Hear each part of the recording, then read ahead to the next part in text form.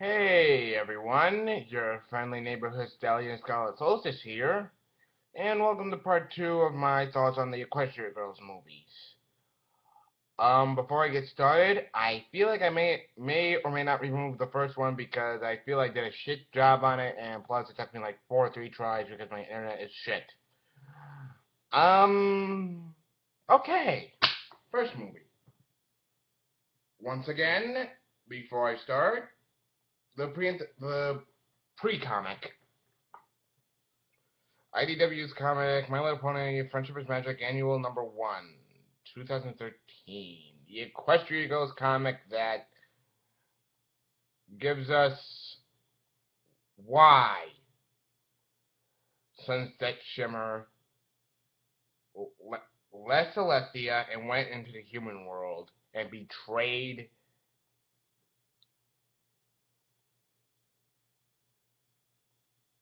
everything she knew. Um, hmm. That explains it. And also explains why she's such a bitch. Again, my reaction to Equestria Girls when I first saw them, like,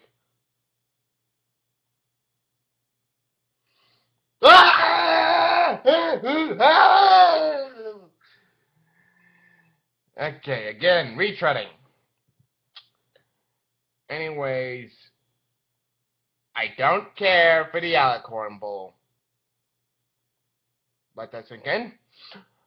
Great film. And now, the character designs don't bug me. They don't.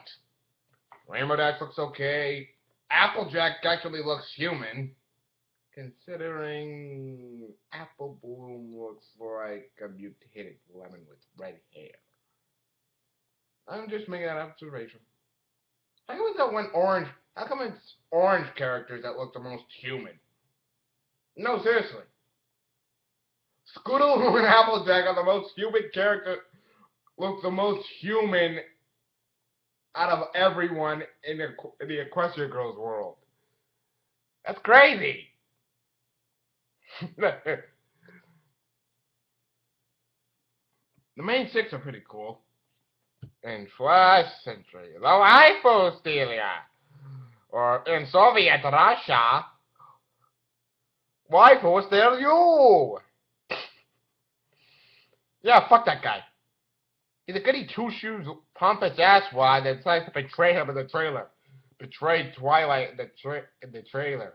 If you're gonna steal our waifu, at least stay with her. I don't, I don't care for the guy. He's just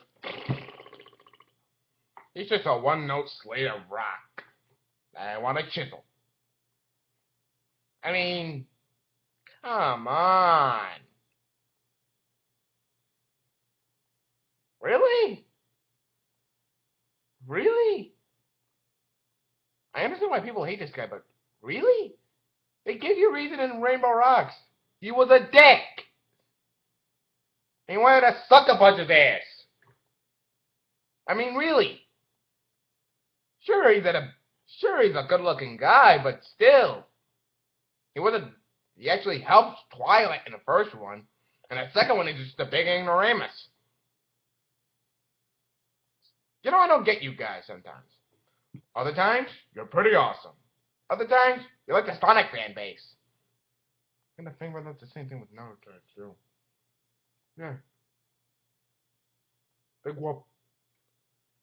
Okay, this is your friendly neighborhood Sally and Scarlet Solstice, signing out. Until next time, don't forget to like, comment, and subscribe, and like me on Facebook. And one more thing. I might change that video I did about Earthbound Miners into be me being a sore loser jackass. Because I feel like I'm coming off as a complete dick.